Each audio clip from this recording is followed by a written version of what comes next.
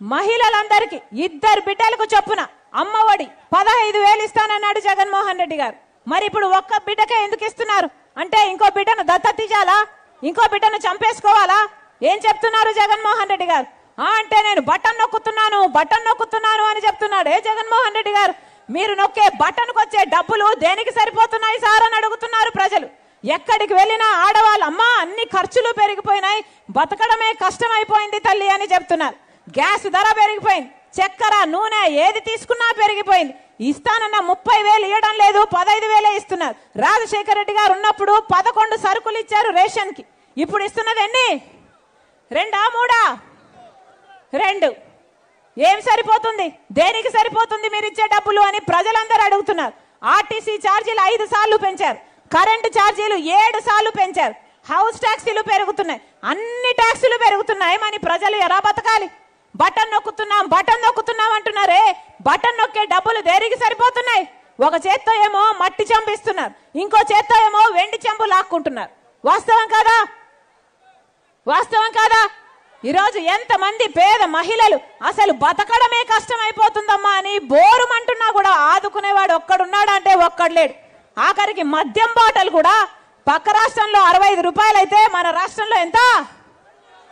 ఎంత? రెండు వందల యాభై రూపాయలు. ఎవరు బాగుపడుతున్నారు? మద్యం మాఫియా జరుగుతుంది ఇక్కడ. మద్యం మాఫియా జరుగుతుంది ఇక్కడ. అసలు ఓన్లీ క్యాష్ అట కదా? నో డిజిటల్ పేమెంట్స్ అట కదా? ఓన్లీ క్యాష్ అట. ఇది ఎక్కడ పద్ధతి అంటున్నాం? అంటే ఎంత అమ్ముతున్నారో లెక్కలేదు. స్టేట్ ట్యాక్స్ ఎంతో లెక్కలేదు. సెంట్రల్ ట్యాక్స్ ఎంతో లెక్కలేదు. ఎవడికి ఎంత పోతుందో ఏదీ లెక్కలేదు. దేవన్న పాడా పద్ధత ఇది. ఏమి జరుగుతుంది మన రాష్ట్రంలో? ఒక ఆడిట్ లేదు ఒక హెల్త్ చెక్ లేదు. మన వాళ్ళ ప్రాణాలు పోతున్న ఇరవై ఐదు పర్సెంట్ మన రాష్ట్రంలో ఎక్కువ చచ్చిపోతున్నారు ఈ మధ్యంతా ఎవరు అడుగుతున్నారు? ఈ రాష్ట్రంలో ఎవరైనా పట్టించుకునే వాళ్ళు ఉన్నారా? ఒక పక్క పాలక పక్షం ఉంది ఒక పక్క ప్రతిపక్షం ఉంది. ప్రజల పక్షానైతే ఎవరూ లేరు. ఈరోజు కాంగ్రెస్ పార్టీ తరపున రాజశేఖర రెడ్డి బిడ్డ వచ్చింది అంటే ఎందుకు వచ్చింది? ఎందుకంటే ఒక పక్క పాలక పక్షం ఒక పక్క ప్రతిపక్షం ప్రజల గురించి ఆలోచన చేయటం లేదు కాబట్టి. ఎందుకంటే ప్రజలకు కనీసం ప్రశ్నించే గొంతుక లేకుండా పోయింది కాబట్టి. స్పెషల్ స్టేటస్ మనకు ఊపిరి లాంటిది. ఎవరు మాట్లాడుతున్నారు స్పెషల్ స్టేటస్ గురించి? ఒక ఒక్క చంద్రబాబు గారు మాట్లాడరు ఇంకో పక్క జగన్మోహన్ రెడ్డి గారు మాట్లాడరు. ఎందుకంటే ఇద్దరికి బీజేపీతో దోస్తీ కావాలి. వీళ్ళ ముగ్గురిది ఒక ట్రయాంగిల్ లవ్ స్టోరీ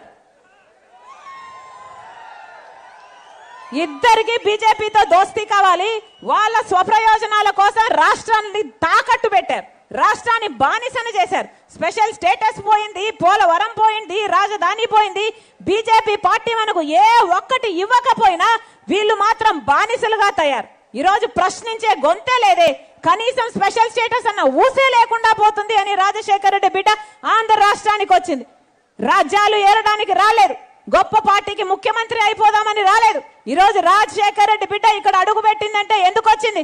ఎందుకంటే కాంగ్రెస్ పార్టీ రాహుల్ గాంధీ గారు పది సంవత్సరాల ప్రత్యేక హోదా ఇస్తాము అని కాంగ్రెస్ మేనిఫెస్టోలో పెడితే ఆ మాటను పట్టుకొని వచ్చింది రాజశేఖర రెడ్డి బిడ్డ.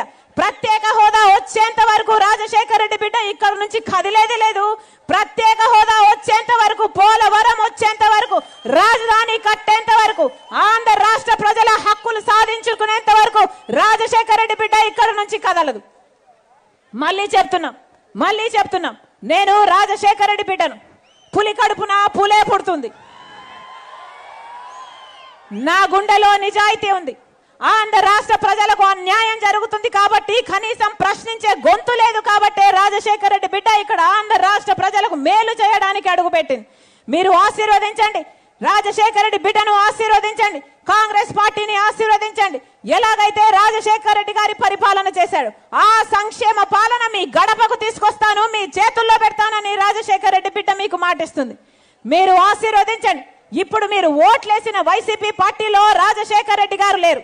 వైఎస్ఆర్ కాంగ్రెస్ పార్టీలో రాజశేఖర రెడ్డి గారు లేరు.